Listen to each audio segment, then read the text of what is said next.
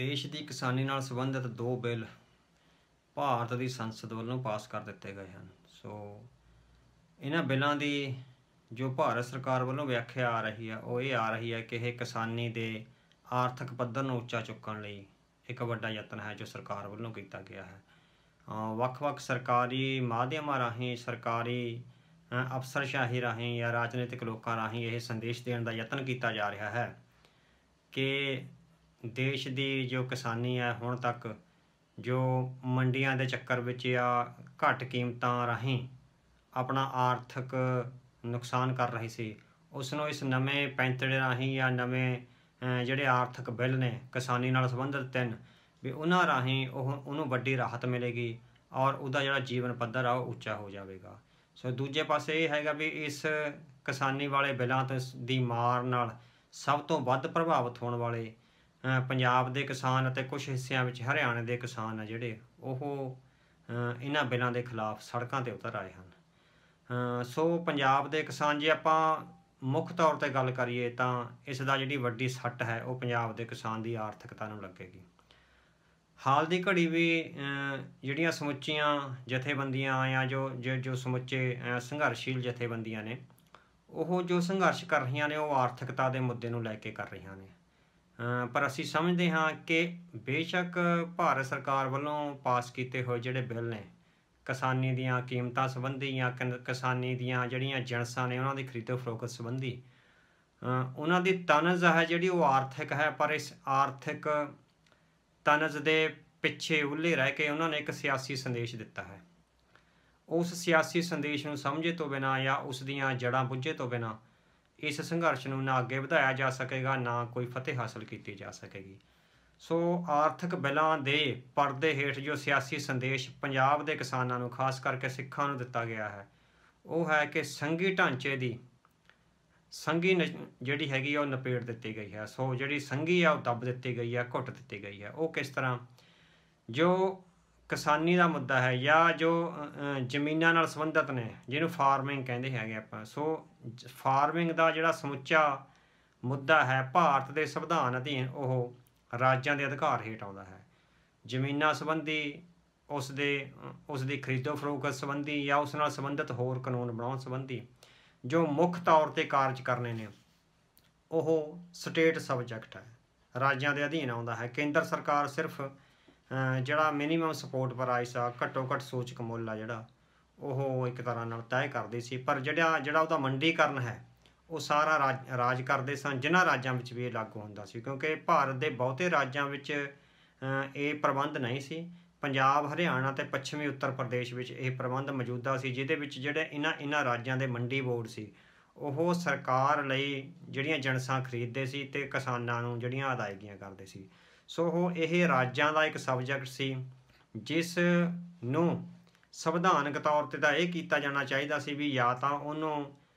ਕੇਂਦਰ ਦੀ ਸੂਚੀ ਵਿੱਚ ਪਾਇਆ ਜਾਂਦਾ ਪਹਿਲਾਂ, ਉਹਦੇ ਤੇ ਬਹਿਸ ਹੁੰਦੀ ਲੋਕ ਸਭਾ ਵਿੱਚ, ਤੇ ਉਸ ਤਰ੍ਹਾਂ ਜਾਂ ਫਿਰ ਉਹਨੂੰ ਜਿਹੜੀ ਸਾਂਝੀ ਸੂਚੀ ਹੈ ਜਿਹਨੂੰ ਕਨਕਰੈਂਟ ਸੂਚੀ ਕਹਿੰਦੇ ਆ, ਉਹਦੇ ਵਿੱਚ ਪਾਇਆ ਜਾਂਦਾ। ਪਰ ਜਿਸ ਤਰ੍ਹਾਂ ਜੰਮੂ ਕਸ਼ਮੀਰ ਵਿੱਚ 300 ਧਾਰਾ 70 ਧਾਰਾ ਖਤਮ ਕੀਤੀ ਗਈ ਹੈ, ਬਿਲਕੁਲ ਉਸੇ ਤਰਜ਼ ਤੇ ਪੰਜਾਬ ਦੇ ਕਿਸਾਨਾਂ ਨੂੰ ਇੱਕ ਸਿਆਸੀ ਸੰਦੇਸ਼ ਦਿੱਤਾ ਗਿਆ ਹੈ। ਕਿ ਜਿਨ੍ਹਾਂ ਨੇ ਸੰਘੀ ਢਾਂਚੇ ਦੀ ਮਜ਼ਬੂਤੀ ਲਈ ਸੰਘਰਸ਼ ਕੀਤਾ ਚਾਹੇ ਉਹ ਸ਼੍ਰੀ ਅਨੰਦਪੁਰ ਸਾਹਿਬ ਦਾ ਮਤਾ ਸੀ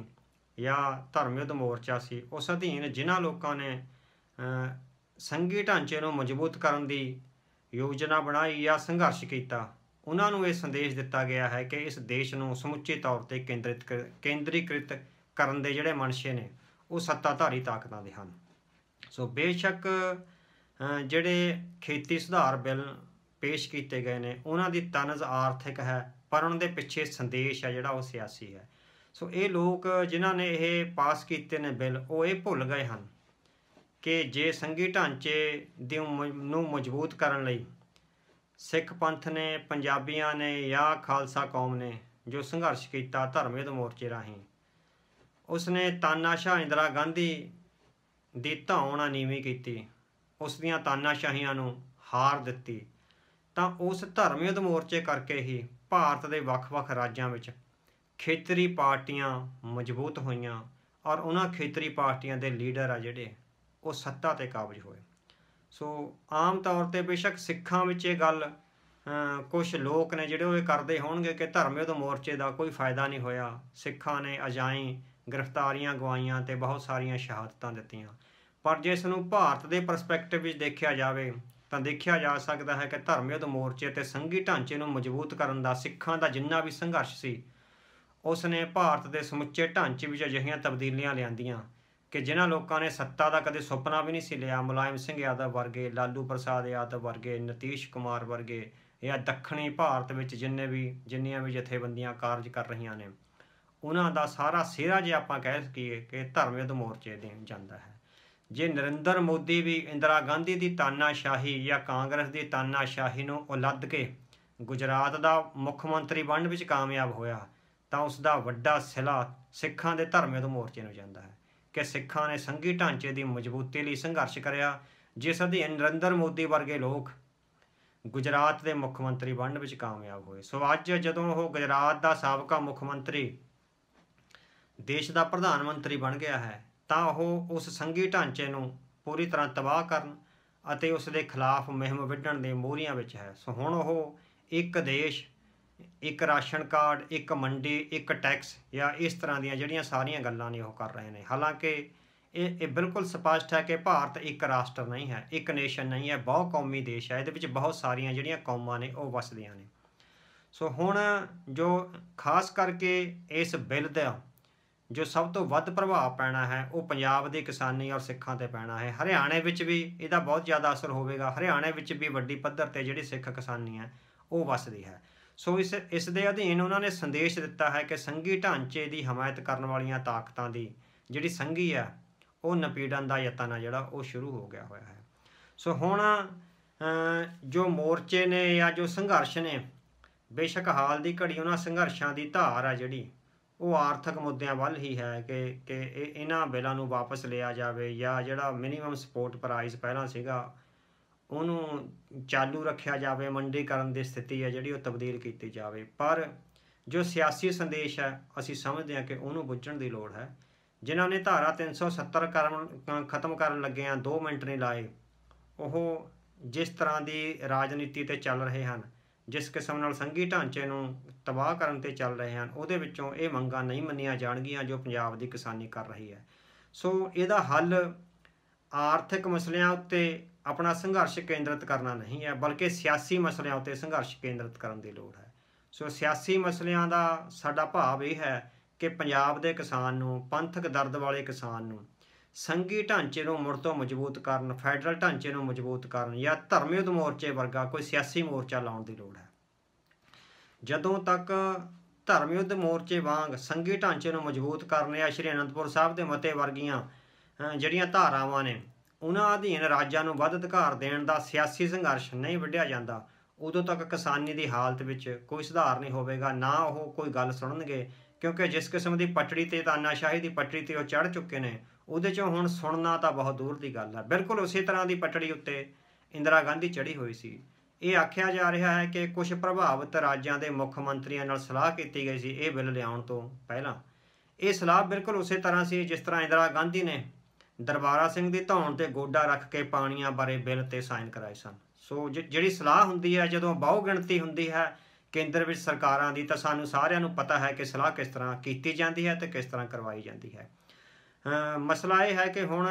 ਜਿਹੜੀ ਲੜਾਈ ਹੈ ਉਸ ਨੂੰ ਰਾਜਨੀਤਿਕ ਪਿੜ ਵਿੱਚ ਵਿੱਢਣ ਦੀ ਲੋੜ ਹੈ, ਜਿਹੜਾ ਸ਼ਾਂਤਮਈ ਜਮਹੂਰੀ ਜਿਹੜਾ ਸੰਘਰਸ਼ ਹੈ ਸੰਘੀ ਢਾਂਚੇ ਨੂੰ ਮਜ਼ਬੂਤ ਕਰਨ ਦਾ, ਉਹਨੂੰ ਕਰਨ ਦੀ ਲੋੜ ਹੈਗੀ ਹੈ। ਤੇ ਵੱਡਾ ਸਵਾਲ, ਸਵਾਲਾਂ ਦਾ ਸਵਾਲ ਸਾਹਮਣੇ ਇਹ ਆਉਂਦਾ ਹੈ ਕਿ ਉਸ ਸੰਘੀ ਢਾਂਚੇ ਨੂੰ ਜੋ ਦੀ ਮਜ਼ਬੂਤੀ ਲਈ ਜੋ ਸੰਘਰਸ਼ ਚਲਾਇਆ ਜਾਵੇਗਾ, ਉਹਦੀ ਅਗਵਾਈ ਕੌਣ ਕਰੇਗਾ? ਸਭ ਤੋਂ ਵੱਡਾ ਸਵਾਲ ਹੈ ਜਿਹੜਾ ਸਿੱਖਾਂ ਦੇ ਸਾਹਮਣੇ ਔਰ ਪੰਜਾਬ ਦੇ ਸਾਹਮਣੇ ਉਹੀ ਹੈ। ਕਿਉਂਕਿ ਜਿਸ ਕਿਸਮ ਦੀ ਲੀਡਰਸ਼ਿਪ ਪਿਛਲੇ 25-30 ਸਾਲਾਂ ਵਿੱਚ ਪੰਜਾਬ ਵਿੱਚ ਉੱਭਰ ਕੇ ਆਈ ਹੈ, ਉਹ ਉਹਦੇ ਵਿੱਚੋਂ ਕਿਸੇ ਵੀ ਧਿਰ ਤੋਂ ਅਸੀਂ ਉਮੀਦ ਨਹੀਂ ਕਰ ਸਕਦੇ ਕਿ ਉਹ ਪੰਜਾਬ ਦੇ ਹੱਕਾਂ ਹਿੱਤਾਂ ਲਈ ਜਾਂ ਖਾਸ ਕਰਕੇ ਸਿੱਖਾਂ ਦੇ ਹੱਕਾਂ ਹਿੱਤਾਂ ਲਈ ਕੋਈ ਲੰਮਾ ਤੇ ਜਾਨਦਾਰ ਸੰਘਰਸ਼ ਆ ਜਿਹੜਾ ਵਿੜ ਸਕਦੀ ਹੈ ਹਰ ਤਰ੍ਹਾਂ ਦੇ ਅਕਾਲੀ, ਹਰ ਤਰ੍ਹਾਂ ਦੇ ਕਾਂਗਰਸੀ, ਹਰ ਤਰ੍ਹਾਂ ਦੀਆਂ ਤੀਜੀ ਧਿਰ ਵਾਲੀਆਂ ਪਾਰਟੀਆਂ ਜਾਂ ਹਰ ਤਰ੍ਹਾਂ ਦੀਆਂ ਜਿਹੜੀਆਂ ਪੰਥਕ ਜਾਂ ਰੈਡੀਕਲ ਧਿਰਾਂ ਨੇ, ਉਹਨਾਂ ਵਿੱਚੋਂ ਸਾਨੂੰ ਕੋਈ ਵੀ ਅਜਿਹਾ ਨਹੀਂ ਦਿਖਦਾ ਜੋ ਉਸ ਇਮਾਨਦਾਰ ਜਾਂਬਾਜ਼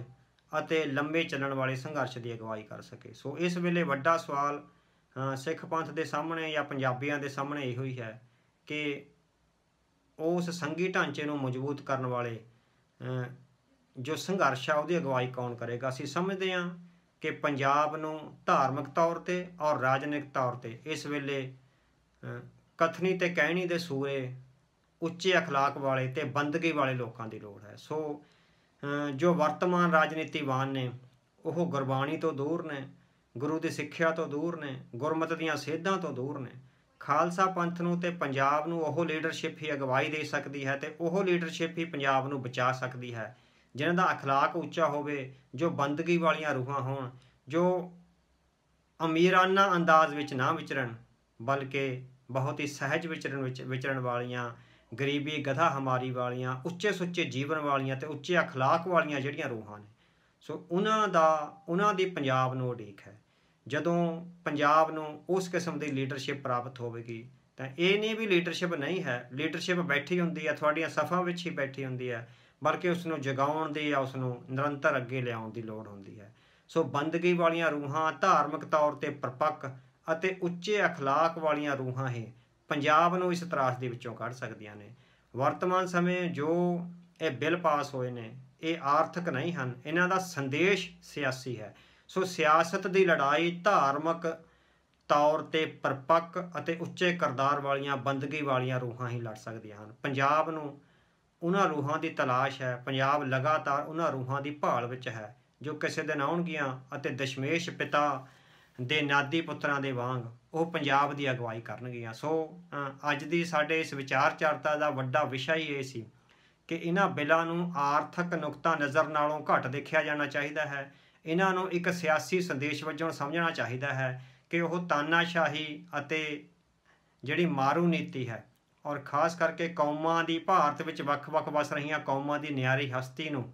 ਅ, ਮਲੀਆ ਮੇਟ ਕਰਨ ਦਾ ਇੱਕ ਸੰਦੇਸ਼ ਹੈ ਇਸ ਸੰਦੇਸ਼ ਦੇ ਖਿਲਾਫ ਆਵਾਜ਼ ਸਭ ਤੋਂ ਪਹਿਲਾਂ ਸਿੱਖਾਂ ਨੂੰ ਉਠਾਉਣੀ ਪਵੇਗੀ ਉਤੋਂ ਬਾਅਦ ਜਿਹੜੀਆਂ ਬਾਕੀ ਧਿਰਾਂ ਨੇ ਜਿਹੜੀਆਂ ਪ੍ਰਭਾਵਿਤ ਹੋਣ ਵਾਲੀਆਂ ਉਹ ਇਸ ਕਾਫਲੇ ਵਿੱਚ ਰਲ ਸਕਦੀਆਂ ਨੇ ਬਾਕੀ ਦੇਖੋ ਜੇ ਸਿੱਖ ਪੰਥ ਨੂੰ ਕੋਈ اخلاقی ਉੱਚਤਾ ਵਾਲੀਆਂ ਅ, ਜਿਹੜੀਆਂ ਰੂਹਾਂ ਨੇ ਉਹ ਮਿਲ ਜਾਂਦੀਆਂ ਨੇ ਤਾਂ ਸੰਘੀ ਢਾਂਚੇ ਦੀ ਮਜ਼ਬੂਤੀ ਲਈ ਇੱਕ ਜਮਹੂਰੀ ਸੰਘਰਸ਼ ਹੈ ਜੋ ਉਹ ਅੱਗੇ ਵਧਾਇਆ ਜਾ ਸਕਦਾ ਹੈ